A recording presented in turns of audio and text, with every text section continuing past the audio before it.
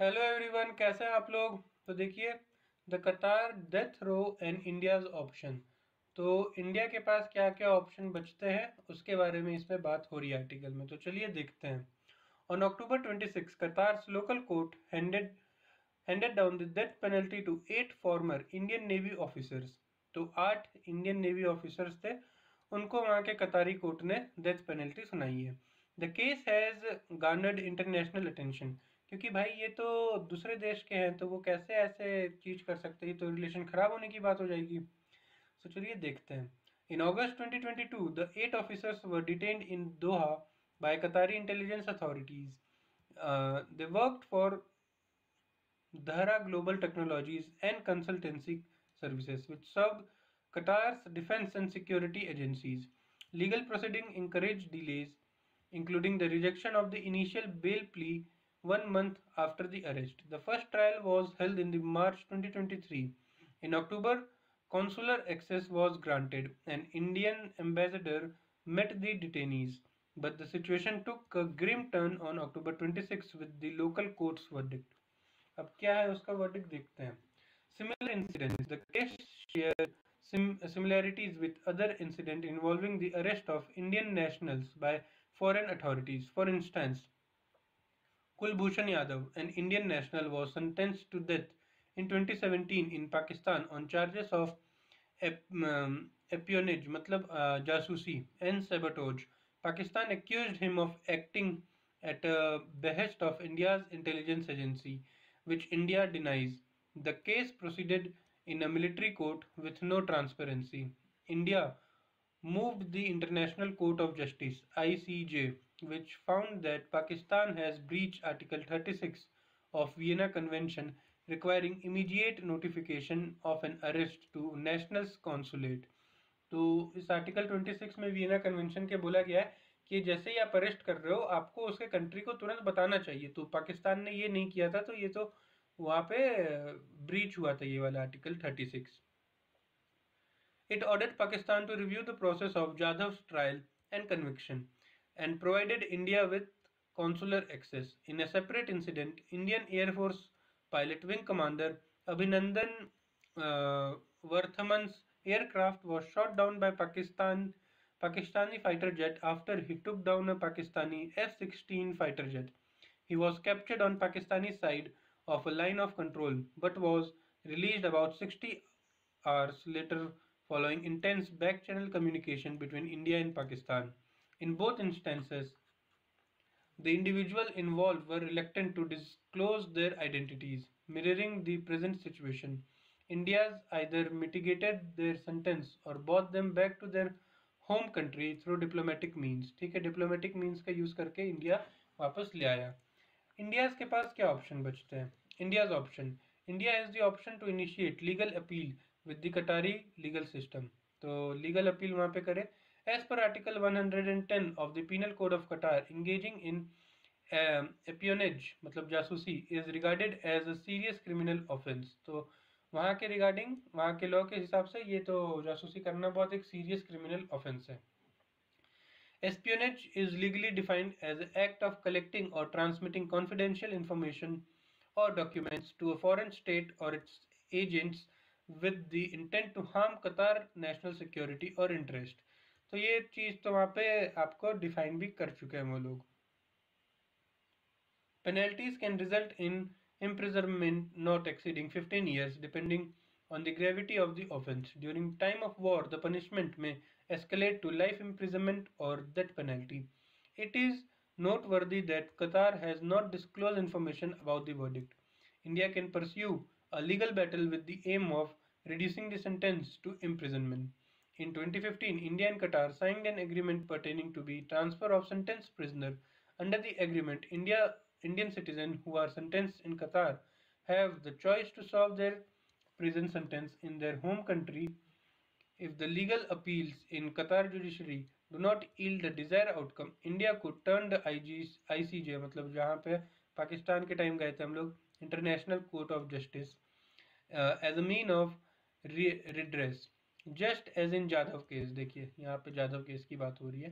There has been a delay in notifying Indian embassy here too तो यहाँ भी article thirty six जो है आपका वियना कन्वेंशन वाला, यहाँ पे फॉलो नहीं हुआ है। The Vienna convention on consular relation provided provides the framework for consular relation between sovereign states article thirty six of the convention is central to this case as it deals with communication and contact with nationals of the sending state The convention's optional protocol grants the ICJ International आपका uh, Court of Justice compulsory jurisdiction over dispute arising from its interpretation or application as mentioned earlier. As mentioned earlier, Article 36 of the Vienna Convention require immediate notification of an arrest and right to consulate access. तो ये जैसे ही आप arrest कर रहे हो, तुरंत notification भेजो और राइट टू कॉन्सुलेट एक्सेस तुरंत दो। आर्टिकल थर्टी सिक्स ये चीज़ बोलता है, बताता है। India has a capacity to initiate diplomatic efforts aimed at resolving the case the relationship between India and Qatar has yielded significant economic ties Qatar is the largest provider of liquefied natural gas LNG की हम लोग बात करें तो कतार से सबसे ज़्यादा आता है। तो India while India defence collaboration with Qatar has been somewhat limited तो ये तो लिमिटेड है defence it stills offers an avenue for diplomatic engagement. The Indian community represents the largest um, ex, uh, expertise group in Qatar. The remittances sent to India by the community amount to an estimate of $750 million annually. Moreover, a steady stream of Indians Artist performs in Qatar at events organized by a community association affiliated by the Indian Culture Center.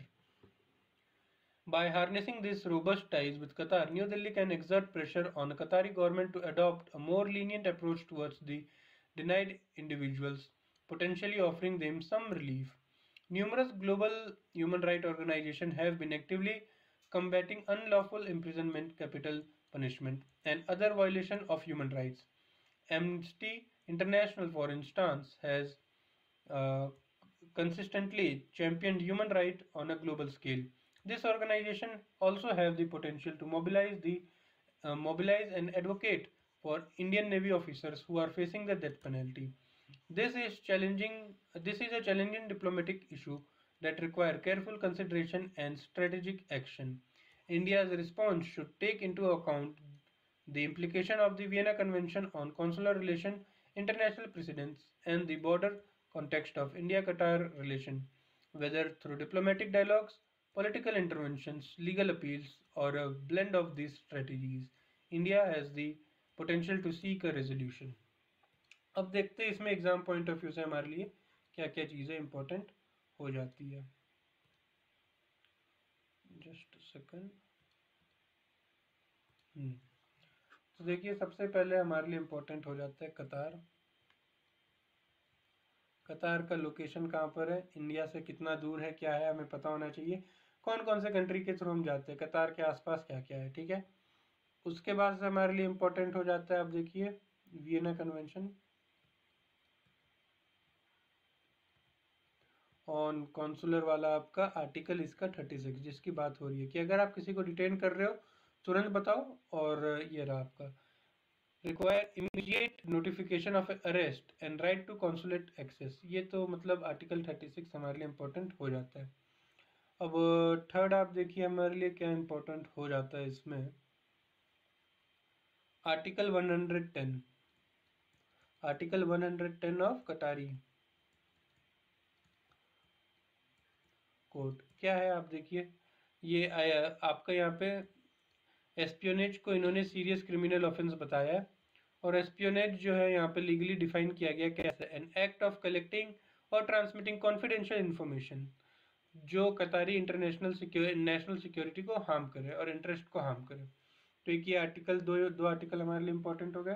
कतार हमारे लिए important हो गया और हाँ कतार से हमारा सबसे बड़ा अगर कोई फ़ायदा है तो लिक्विफाइड नेचुरल गैस में एलएनजी एलएनजी क्या है, क्यों है और क्यों ये अभी यूज़ करना है, हमें हमारे लिए इम्पोर्टेंट होता है। कोल को हम लोग पीछे छोड़ना चाह रहे हैं तो एलएनजी कैसे हेल्प करेगा? हमारा जो कार्बन फुटप्रिंट है, उसको हम कम करना चाह रहे हैं तो एलएनजी कैसे हेल्प करेगा? ये सारी चीज़ें एलएनजी से हमारे लिए इम्पोर्टेंट हो जाती है। तो इस आर्टिकल में बस इतनी चीज़ें इंपॉर्टेंट थी। So thank you guys please work hard to achieve all your dreams